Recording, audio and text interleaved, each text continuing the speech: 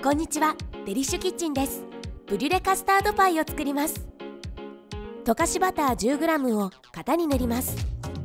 冷凍パイシート1枚は一回り大きくなるように伸ばしましょう。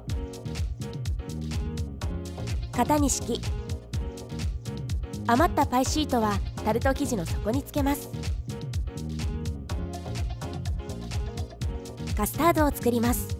ボウルに卵を1個。砂糖大さじ2を入れ混ぜ合わせます。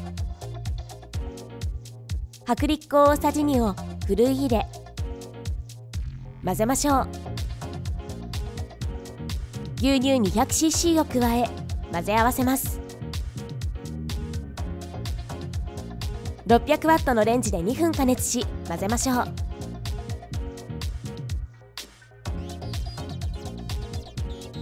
再び600ワットのレンジで2分加熱しバニラエッセンスを2滴入れ混ぜて冷まします。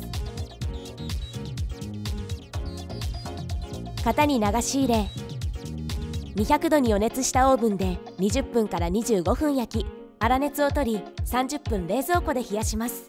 フライパンに砂糖 40g 水大さじ1を入れカラメル色になるまで弱火で加熱します。生地にかけたら完成です。ブリュレ部分は時間が経つと溶けてくるのでお早めにお召し上がりください。